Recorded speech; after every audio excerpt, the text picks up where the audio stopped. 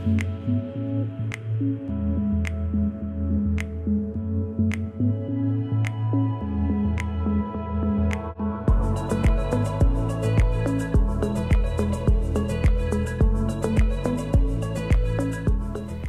everybody, and welcome to Dryer Days Art Studio. I'm Catherine. Thank you so much for being here today.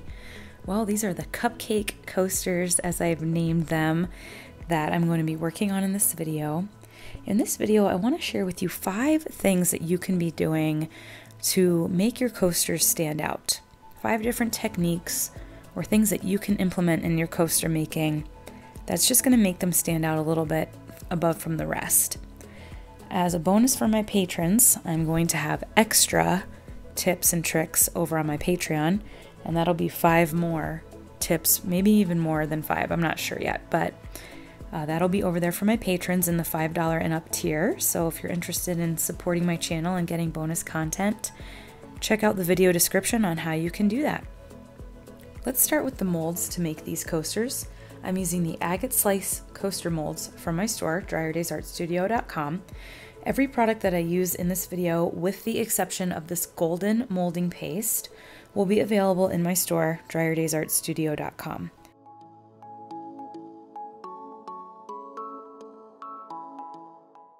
So I'm using this golden molding paste here to add some texture around the edges of the mold. And that is my first tip in this video is to incorporate some sort of texture into your coasters. This is really going to help them stand out. And as you may have noticed there, this molding paste is a semi-opaque paste, so I really wanted them to be white, white, white, these edges. So I am using some opaque medium body acrylic paint and just mixing that right in with this medium, which you can do. You can add any color that you want. You can make it gray or black. I really wanted these to be white. So once I get them to a really nice consistency and the color that I want, I'm going to use a couple different palette knives here. I'm using this one here first because I could get a really nice amount of paste on to my palette knife. And then I'm going to use a thinner tip palette knife to really help get that molding paste into the edge, into all the little nooks and crannies there on the side. And this tool also, it just helps, it's it, because it has such a smaller tip, I can really manipulate the paste better as to where I want it to go on that mold because I, I really had a vision in my head of where I wanted this texture to be and I didn't want it to go past a certain point. point and you'll see what I mean here in a second. So time lapse of just a little bit more in detail of me doing this here. And I'm using a baby wipe to clean up any excess that got on the top of the mold or on the sides. I love baby wipes. They get off everything, including resin. I use them all the time. And here what I just want to show is I only had that texture paste coming about halfway up the side or the depth of the mold because I knew I wanted to leave maybe a clear edge there. I thought that might look cool in the finished piece. So I just wanted to highlight that here that I didn't go all the way up the side of the mold. And you can also flip the mold over here to make sure that you have all those nooks and crannies filled. You can tell where maybe you didn't get any paste down into the nooks and crannies by just flipping it over like this. And here we are going to just let this dry. I let it sit for about a day to let it kind of dry up as much as it would. And I'm checking that as I look at this going around that all of the sides match up.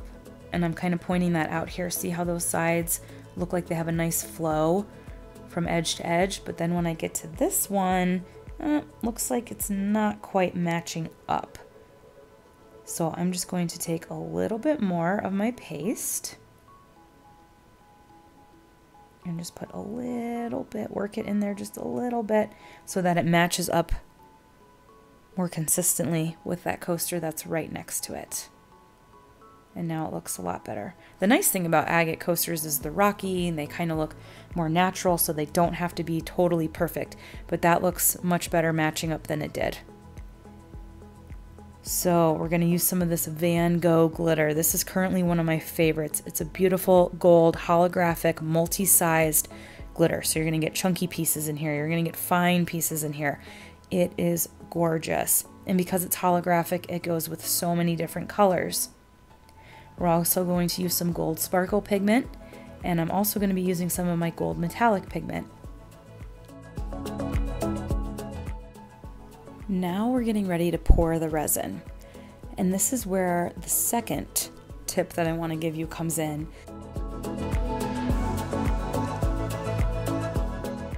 And that is to use clear negative space in your coasters. And you can use this in any part of your coasters. I'm choosing to use it kind of in the more middle of the coaster.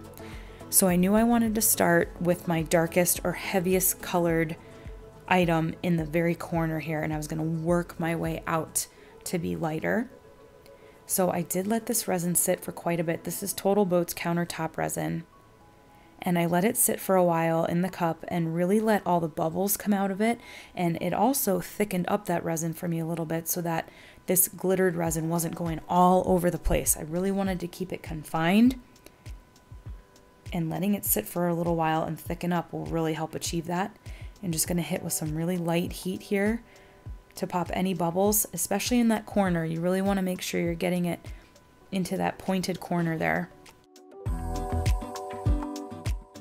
And I just wanted to show you something that happened here because I like to show you kind of the oopsies and then show how it can still work out in the end.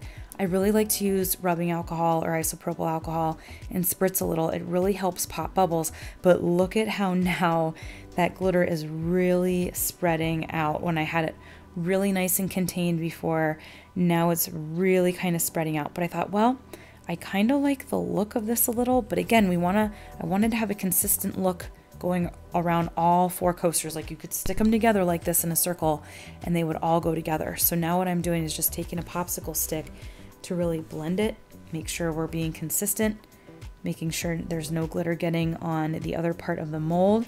And now I'm going to drizzle that clear. And as you notice here too, when I put that clear on, it's pushing that glitter back. So if you ever want to kind of push pigmented resin out of the way, add some clear. I've done this in other videos too in geode art pieces and you can watch it just push pigments or glitter back out of the way. And you kind of have to babysit it sometimes or stay on it to make sure it's still pushing the way you want to. But this is a way of getting things to kind of move where you want them to.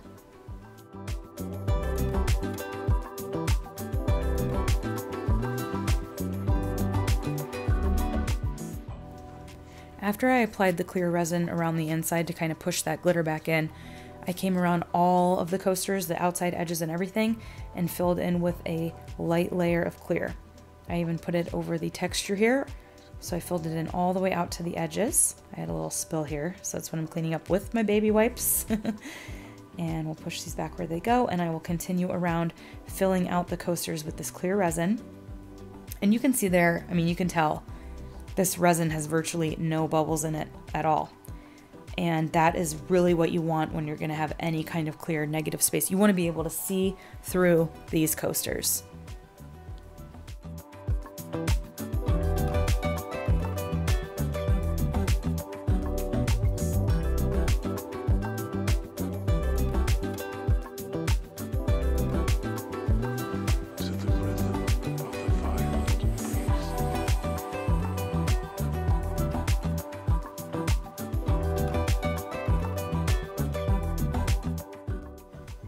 Tip number three that I have for making your coaster stand out from the rest is to use a chunky or a multi-size glitter. One that's really going to stand out. Uh, this is a beautiful glitter, this Van Gogh, and I have been dying to use it in some coasters, and I had a vision for these, and really I based the entire coaster color palette and sort of vision and idea around this Van Gogh glitter. I knew it would stand out, I knew it would be beautiful, and I based the whole thing around it. So, using a high quality, solvent resistant, chunky glitter that is going to stand up in the resin and still pop and be so sparkly and beautiful is really going to help your coaster stand out. Now, I'm coming around with the gold sparkle pigment and just laying a thin line and going back over and tracing and tracing and tracing. And as you can see here, I'm actually overlapping the coasters making sure again we're staying consistent going all around the way so that these would match up if you stuck them all together like this.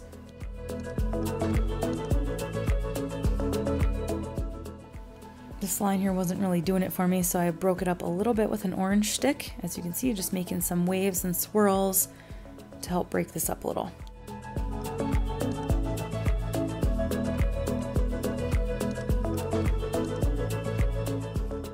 As I do with most of my coasters, or when I'm using even the deeper molds, I like to go over and over and over the same spots again and just keep building them up with that same color. And in the process of doing this, you can see right there, I had a little drip of the Van Gogh get on the textured part, which I was planning on keeping white this whole time. I thought these were going to be very light coasters, but then I kind of liked how it looked. and I put a little bit more down and moved it around a little bit. And I thought, oh, this looks really cool. And it helps kind of break up this white, stark contrast here. And so I incorporated that. And again, going along with tip three, you know, we're using a chunky multi-size glitter here. Um, I have some really big square glitter. I have glass glitter. There's all kinds of stuff. Um, even um, more like um, fire glass you could probably use depending on how deep your mold is or the mirrored glass that you can get at Michael's and just something that's going to stand out. And look at how cute this look. I, I think it looks like little sprinkles and with the creamy white, that's why I started to feel like these look like some vanilla cupcakes and that's why I named them the cupcake coasters. All right, so let's demold these.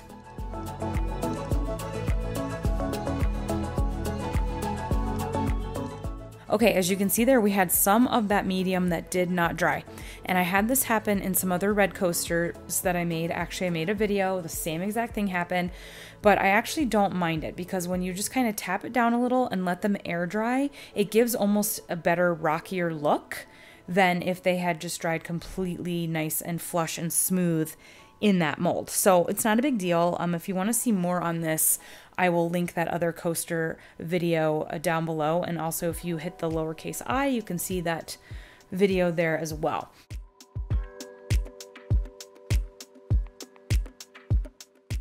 The number four tip that I want to touch on is drawing on lines, not just finishing the edges. So when I demolded these and I set them out, I let them sit flat for about two days to really harden up. And I decided that they needed something a little extra. That white still looked really stark there on this side of the coasters, and I felt like it needed something a little bit more to blend them. So I got out two different gilding or leafing paints that I have. You kind of want to mix them up really good because they can get sort of chunky and separate. So I'm just mixing them up. While I'm doing that, I'm going to mention again if you guys want to have some bonus content or bonus tips, consider becoming a patron. And all of that is linked down below. I really like doing bonus content for my patrons over there. I appreciate the support so much. It really goes a long way in creating all of the content, the free and the patron content. So thank you guys so much for that. And what I'm going to do here on this white piece of paper is because I'm putting that gold right up against that white, I wanted to see how each one would look. You can see one is definitely more of a bronzy or an antique gold, and one is more of a true yellow gold. And I have these very, very fine brushes here. And we're just to take the jar here. I'm to do kind of more of the antique looking one. I thought it would go a little bit better with the colors that we had happening in here. And I'm just to follow along that line.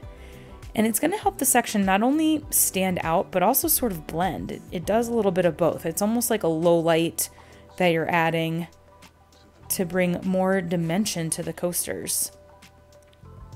So just very, very little bit of that paint on my brush and just gonna come around very, very smoothly here.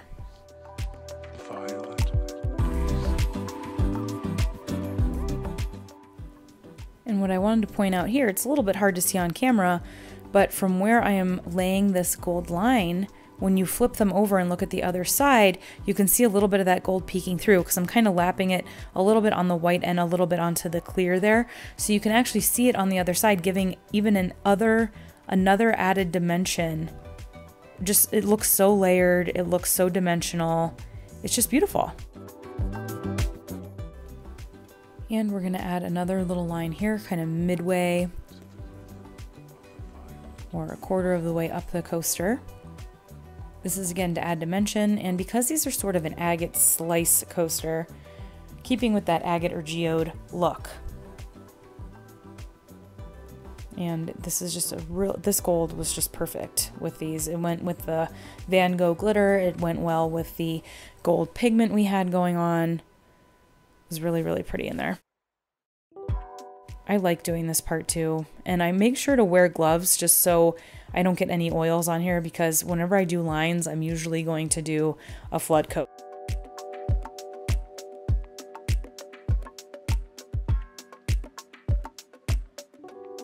So as you saw there, I'm going to use some latex.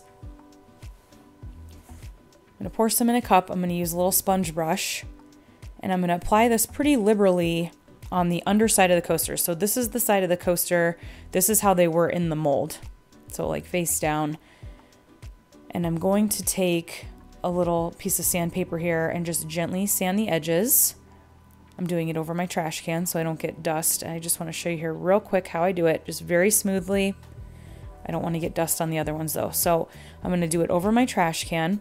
But after I have sanded each of these, I'm going to take a rubbing alcohol wipe and clean off the surface really well. Make sure I got all that dust off and any other oils that might have gotten on the surface of the coaster.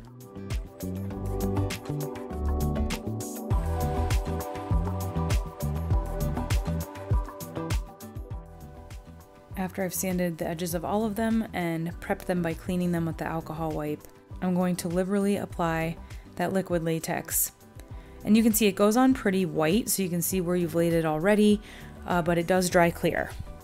So you just want to make sure you get a really good coverage because this is going to catch any of those resin drips that when you pour the flood coat on the top side of these, on the opposite side, and that resin wants to run over the edges, this is going to catch those drips for you.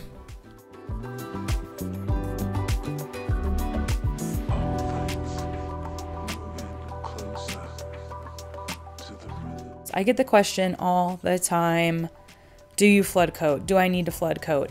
It depends on the coaster. I say this every time, but being that we did add those lines on here, I think it is necessary to cover and protect those lines.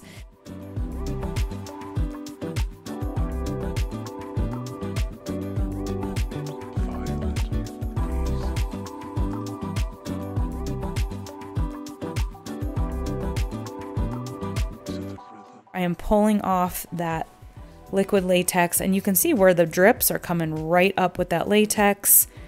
They are beautiful and clean now and we have a gorgeous, beautiful, flawless flood coat on these now. And you you know again it's it's up to you as the artist as the creator to decide if you want a flood coat, but you know, consider that when you're pricing them out. If you use some extra resin, it really doesn't take that much resin to do a thin flood coat on your coasters. And if you protect the underside like this and do a flood coat, then it's easy peasy. I mean, you getting the drips right off, you don't have to worry about it. We've sanded our edges so they're nice and smooth. And there you go, done. Beautiful. Beautiful.